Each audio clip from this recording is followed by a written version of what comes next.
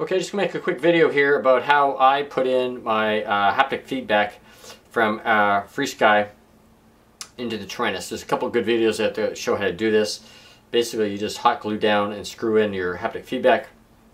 You run the red, the black, and the white wire off of that. You have to solder that on yourself.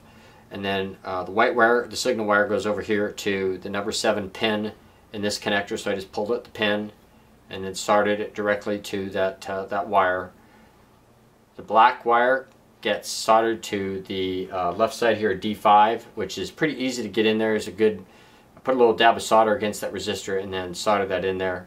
The tough one is um, this soldering to the to the left side of R10 right here. Well, I'm going to zoom in here with my little magnifying glass so you get a better better look at that. Let me see if I can zoom in here a little bit more.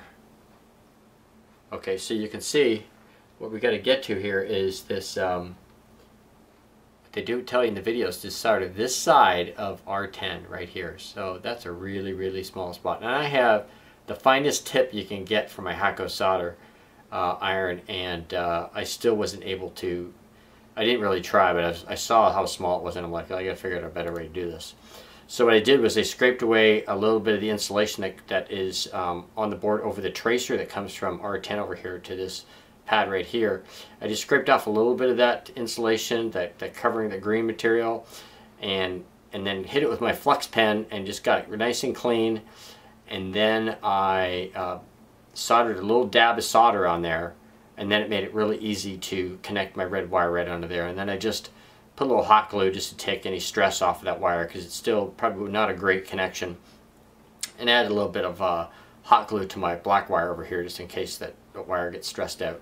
Um, so I did that and it worked great, no problem. Um, so if anybody else out there is a little uh, um, afraid of uh, soldering to that, to that tiny little area on R10, um, that might work a little bit better. Just scrape that off really nice and clean. You have to be careful not to mess with the tracer.